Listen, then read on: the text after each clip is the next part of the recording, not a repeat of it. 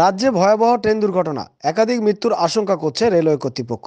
বৃহস্পতিবার বিকালে জলপাইগুড়ি থেকে গুয়াহাটি যাওয়ার পথে ময়নাগুড়ির কাছে বিকানের এক্সপ্রেস ট্রেনটি লাইনচ্যুত হয়। বিকেল নাগাদ ঘটেছে এই দুর্ঘটনা। ঘটনাস্থলে পৌঁছেছেন আর এম দিলীপ কুমার সিং। জানা গিয়েছে, দোহামণিতে গুয়াহাটি বিকানের এক্সপ্রেস হঠাৎ এমনভাবে ব্রেক কষে যে একটি বগির সঙ্গে অন্য বগির সংঘর্ষ হয়। প্রায় দুটি বগি লাইনচ্যুত হয়ে যায় বলে খবর। দুর্ঘটনায় একটি বগির উপর একটি বগি উঠে যায়। মোট সাতটি বগি লাইনচ্যুত হয়েছে বলে খবর। কিন্তু কী কারণে ব্রেক কষতে হলো তা এখনও জানা যায়নি। দুর্ঘটনায় একাধিক মৃত্যুর আশঙ্কা করা হচ্ছে। আহত হয়েছেন বহু যাত্রী। ঘটনাকে কেন্দ্র করে বৃহস্পতিবার তীব্র চাঞ্চল্য ছড়িয়েছে এলাকায়।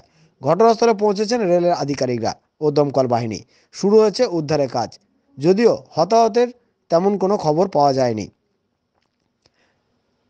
খবর পাওয়ার সাথে সাথে উদ্বেগ প্রকাশ করেছেন মুখ্যমন্ত্রী মমতা বন্দ্যোপাধ্যায় সমস্ত প্রশাসনিক কর্তা ব্যক্তিদের ঘটনাস্থলে যাওয়ার নির্দেশ দিয়েছেন তিনি ঘটনাস্থলে পৌঁছেছে একান্নটি অ্যাম্বুলেন্সও উদ্ধার কাজে নেমেছে বিএসএফ ও এনডিআরএফও उतारो जल्दी उतारो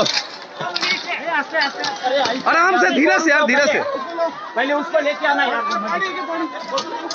ए, ए, ए, लो ए, ए, ओए, रुको रुको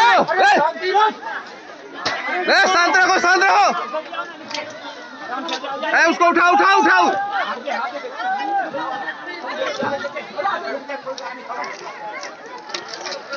आराम से आराम से आराम से।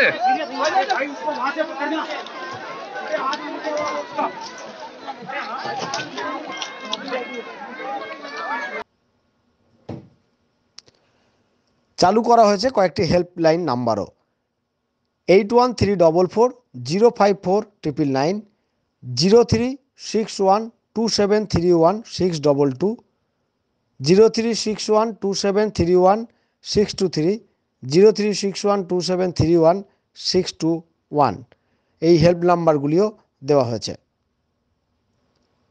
জলপাইগুড়ি থেকে কৃষ্ণ সাহা, আনন্দ বার্তা।